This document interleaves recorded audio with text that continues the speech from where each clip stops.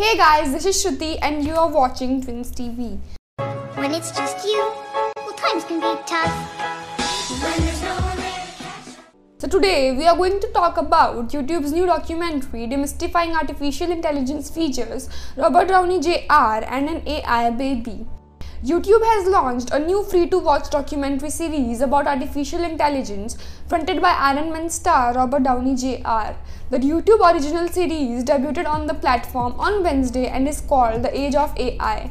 Its stated aim is to demystify misconceptions around AI. One of the main focuses of the first episode is a New Zealand based company called Soul Machines, which specializes in making digital avatars. Its founder, Mark Sagar, is an award winning visual effects artist who has worked on films like Rise of the Planet of Apes and Avatar.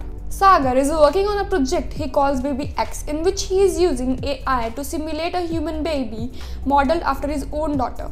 Sagar interacts with the baby through a webcam, teaching it words and how to react to certain objects. For example, to show fear at the sight of rubber spider. Soul Machines also builds more simple avatars, and the documentary shows how the company builds an AI avatar and voice for musician will.i.am, taking photos of him pulling various facial expressions to accurately model his face.